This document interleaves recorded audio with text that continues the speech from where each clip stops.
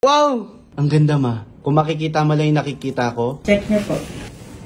Ay! Ay! Ganyan ang kailay ko? Uso po yan yung Mala Andrea Brillantes po. Maganda ma. Pa- wait lang ha. Parang ang I-upload ko kayo. Mga kabagang, i-comment nyo. I-comment nyo kung bagay sa magandang dilag yung kilay niya ngayon. Mas nabuo nga yung look mo, may. Kay Ma'am Pinky. ang dikit. Parang ang lapit. Ganyan po talaga siya. Ganyan talaga. Ay, natanong mo kay Ma'am. Malayo yung ganito na niya. Ay, oh. Ako ang lapit, oh. Uso po yan eh. Ikaw lang. Nauso ngayon. Nga po. Parang hindi ba? Ganyan, kasi nakakaya.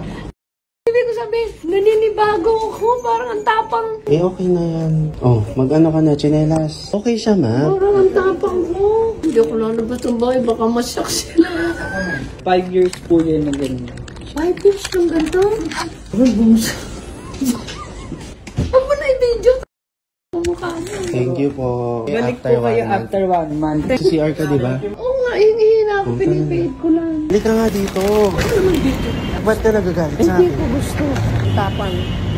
Dikit mo pa ako. Ayoko nung ganito. Try natin ipakisuyo kung may way para manipis na ng konti. Kilay nila. Oh, Ang gaganda.